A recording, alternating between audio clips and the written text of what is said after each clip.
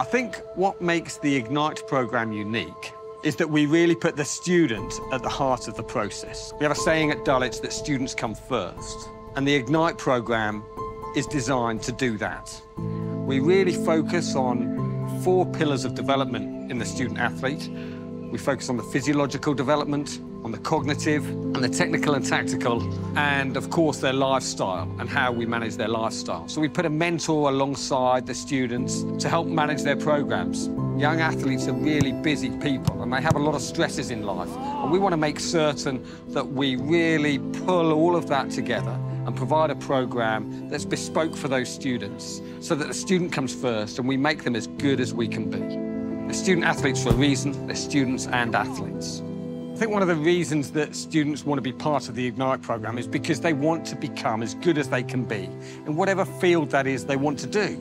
Some may want to go on and be professional athletes. Others may want to take it on to university to further their education. Others just really enjoy playing sport and they're really talented at it and they're not quite certain what direction they want to go in.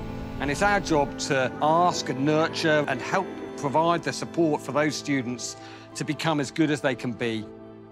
We're lucky at Dulwich that we've got some amazing tools to be able to support our young people in the Ignite programme. We've got a wonderful aquatic centre, we've got three gymnasiums, an amazing 3G pitch, fitness centre. So we've got all the tools that we need physically to be able to help young people. But I think the biggest resource that we have are the people here. We've got some amazing teachers, really knowledgeable, and there's a great coaching network here in Singapore. So the students have amazing connectivity with their staff, with their coaches, and with the resources that we have available here to be able to make them as good as we can be.